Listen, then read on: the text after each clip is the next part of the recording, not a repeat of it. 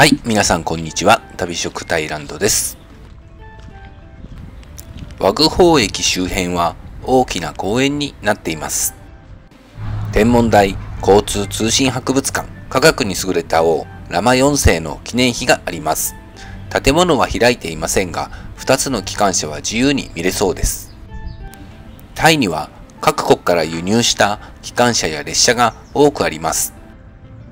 主要駅前や公園に展示されているので、鉄道が好きな方は探してみてはどうでしょう。これはアメリカ製の蒸気機関車、ボールドウィン226号。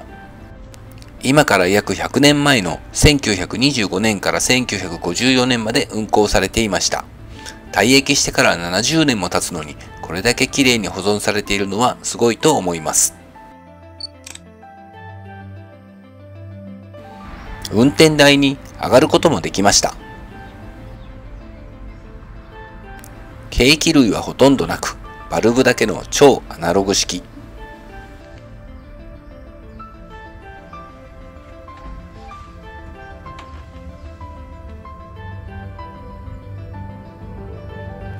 もう一台はデンマーク製のディーゼル機関車フェリックス556号機。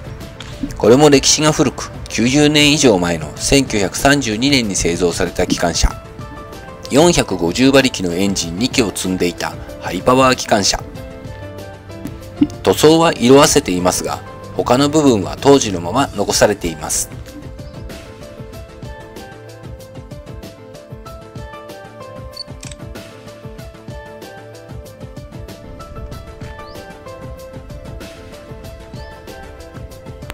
ディーゼル機関車も中に入ることができました。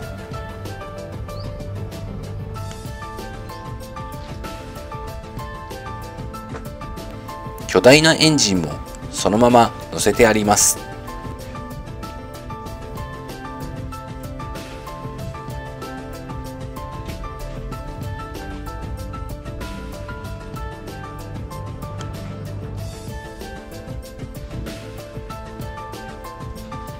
窓ガラスがあったと思われるところは金網が張られています。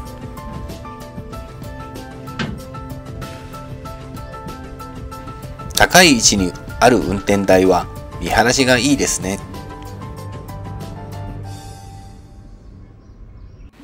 思いがけず貴重なものが見れたと思います。さて、また南へ向けて出発しましょう。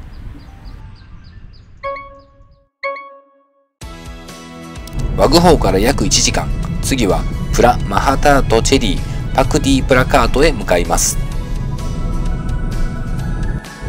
南タイらしいヤシの木の林を抜けて海沿いへ向かいます。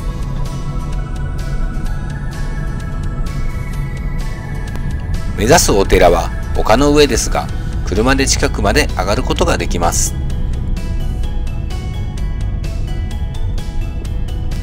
やっと駐車場に到着。結構登りました。海を見守る黄金の仏像。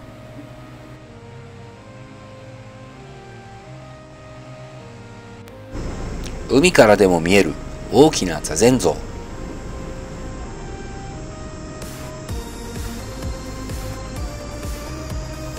仏像側から見る海。晴れていれば見晴らしも良く、綺麗な海が見れそう。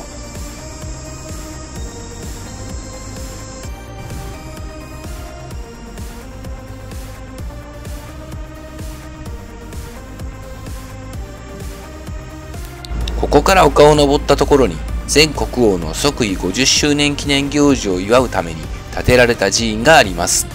車では入れないので歩道を登っていきます。結構長い階段です。頑張って登りましょう。暑い時期ですが森を抜ける海風が涼しく感じます。10分ほど登って大理石の石段が見えてきました。石段の先にはプラマハタートチェリー、パクディプラカートが見えてきました。長に守られた階段を上がっていきます。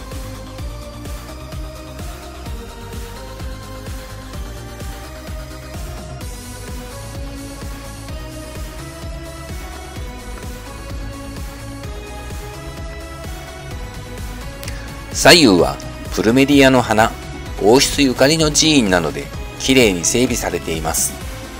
階段を上りきると、そこにはお城のような寺院が建っています。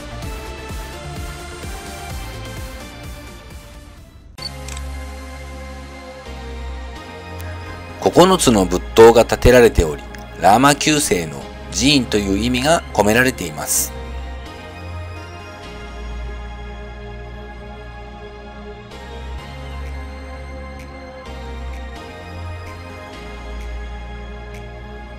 中に入ると2つの回廊があり、一番奥の部屋に黄金の仏像が祀られています。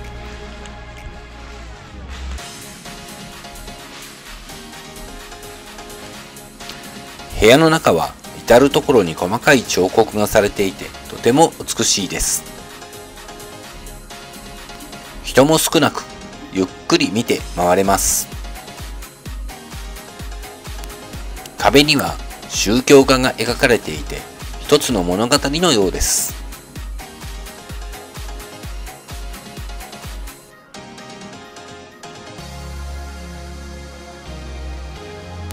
真ん中の柱の4面には4体の仏像が安置されています。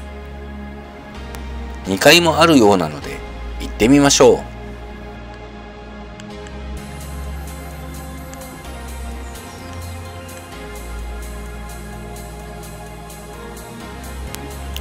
こちらも部屋の中心部には黄金の仏像が祀られています。この仏像は金星を伝えるハムケンちゃんの姿勢というらしいです。どこを見ても美しい寺院ですが、もう一つ見どころがあります。壁に作られたプラ・マハーチャノックの物語を語るステンドグラス。窓から差し込む光でくっきりと浮かび上がります。海辺に立つこの寺院は外の景色の眺めも最高です。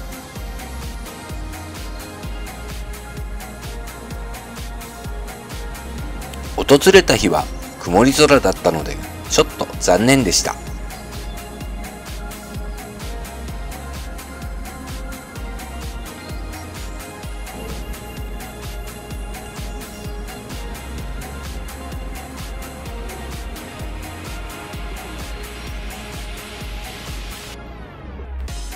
運が良ければこんな美しい景色に出会えるかもしれません。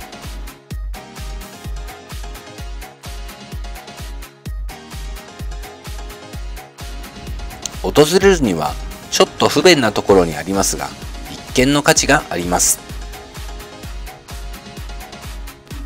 近くを通ることがあれば、ぜひ足を伸ばしてみてはどうでしょうか。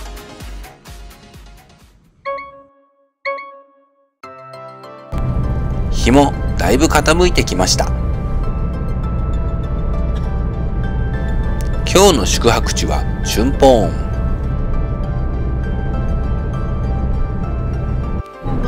ここから約2時間ほどかかるので急ぎましょう。ホテルに行く前にお腹が空いたので晩ご飯。クロアプリックソットという南タイ料理のお店。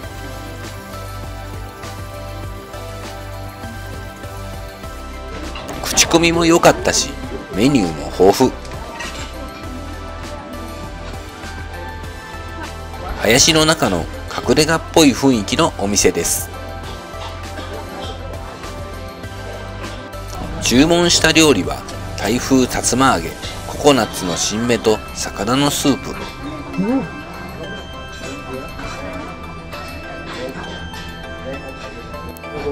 甘く煮たイカエビと南タイ独特の豆の炒め物。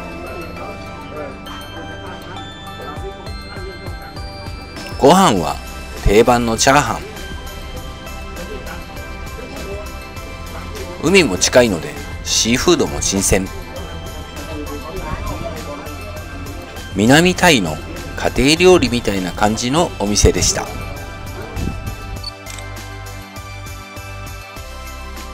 お腹もいっぱいになったのでホテルに行って休みたいと思います。それではまた次の動画でお会いしましょう。